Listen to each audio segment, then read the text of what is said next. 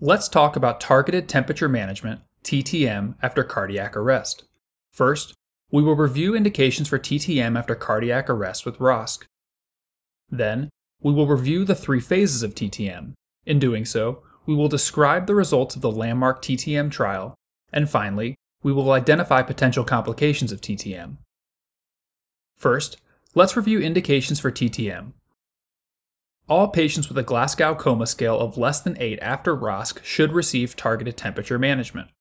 Essentially, if the patient is not showing purposeful movement and or unresponsive to verbal commands or could reasonably be considered comatose, they should be considered for TTM. Does the arrest rhythm matter? While trials historically included a higher proportion of patients post-shockable rhythm arrest, meaning ventricular fibrillation and ventricular tachycardia, we now have data demonstrating improved outcomes with TTM after non-shockable rhythm arrest, PEA and asystole. The Hyperion trial from 2019 demonstrated improved survival with a favorable neurologic outcome at 90 days with TTM at 33 degrees after arrest with a non shockable rhythm, 10.2% versus 5.7%. Therefore, the answer is no. Post arrest patients with shockable and non shockable rhythms should receive TTM. Does arrest location matter? Again, no. Both out of hospital and in hospital arrest should be considered for TTM if ROSC is obtained. Note, hemodynamic instability is not a contraindication to TTM as long as the patient is on stable doses of vasopressors and inotropes.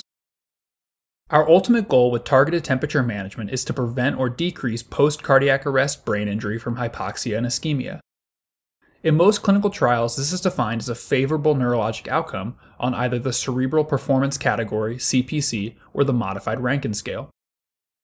Favorable by both metrics typically means the ability to live independently with minimal assistance. Does TTM accomplish this goal?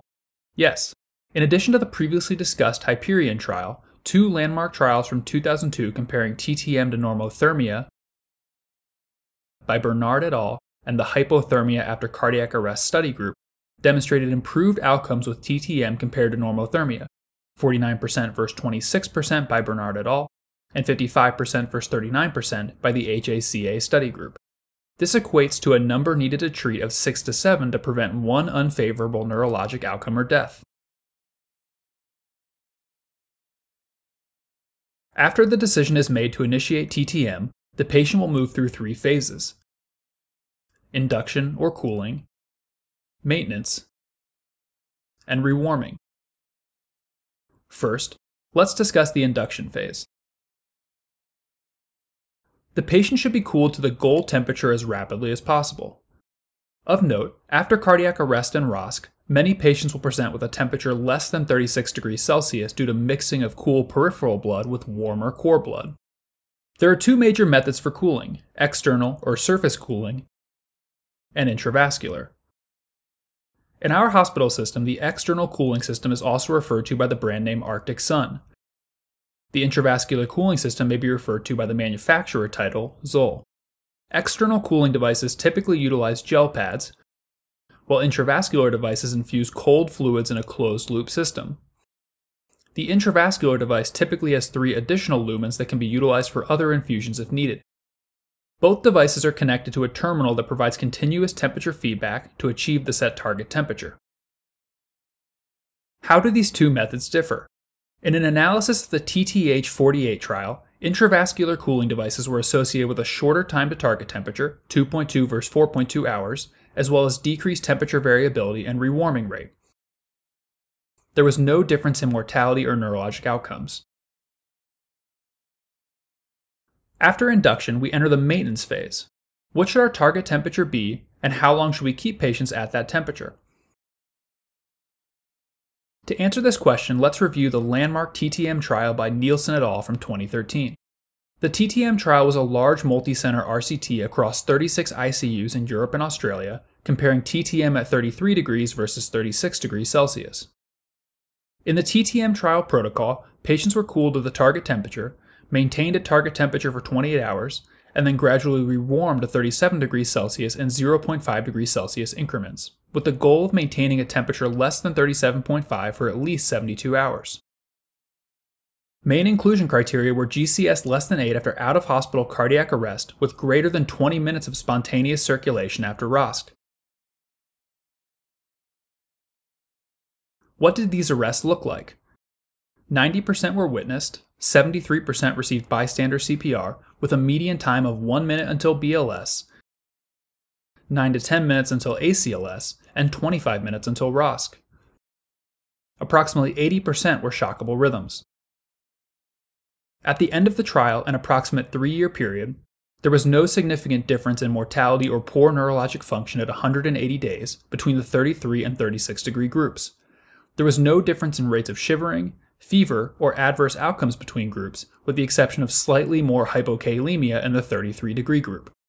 The authors concluded that TTM at 33 degrees does not confer additional benefit compared to 36 degrees.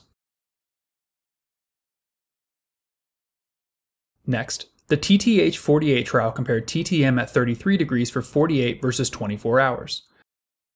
There was no difference in favorable neurologic outcomes at 6 months, with a higher rate of adverse events and longer ICU length of stay in the 48 hour group. The decision to target 33 or 36 degrees is institution dependent. Why might 33 degrees Celsius be preferred?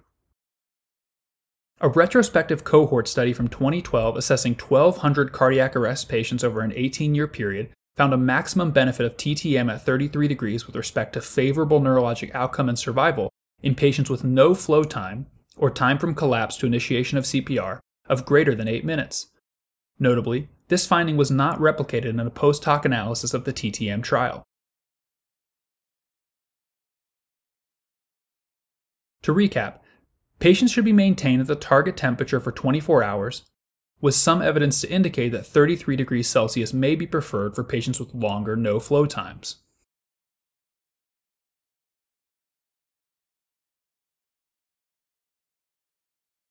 What complications of TTM should we be aware of? Shivering is the most common human response to hypothermia and slows the rate of cooling. First line to control shivering is adequate analgesia and sedation. Fentanyl is a first line agent for analgesia.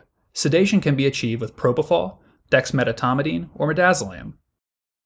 If unable to control shivering with sedative and analgesic infusions, neuromuscular blockade can be utilized. Adjunctive agents include acetaminophen and buspirone. Arrhythmia is also common. AFib occurred in 26 to 28% of patients in the TTM trial. VT occurred in 15 to 18%, and bradycardia in 5 to 6% of patients. Hypothermia causes a cold induced diuresis, which can lead to hypovolemia as well as numerous electrolyte abnormalities, including hypokalemia, hypomagnesemia, and hypocalcemia. Hypothermia decreases insulin sensitivity and secretion, leading to hyperglycemia. Control of hyperglycemia may require initiation of an insulin infusion. Hypothermia impairs coagulation and platelet function and increases the risk of bleeding. Coagulopathy and or active bleeding may be a contraindication to TTM, and risk versus benefit must be considered in these situations. Finally, hypothermia impairs immune system function and increases the risk of infection.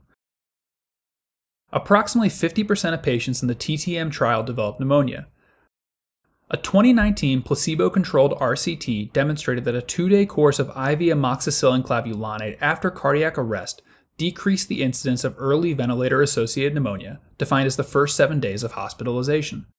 IV ampicillin sulbactam, or another similar antibiotic, can be utilized.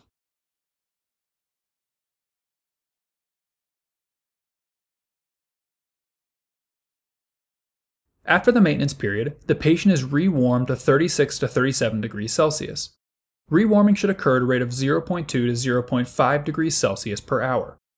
It is critical during the rewarming period to avoid rebound fever. Therefore, patients should be locked in at a temperature between 36 to 37 degrees utilizing the feedback system of the external or intravascular cooling device. Neurologic prognostication with the assistance of a neurologist or neurocritical care specialist can typically begin as early as 72 hours after the arrest. Prognostication includes consideration of the clinical exam, including motor response to pain, pupillary and corneal reflexes, imaging, including CT, MRI, and EEG, and biomarkers, including neuron specific enolase, a protein released from injured neurons.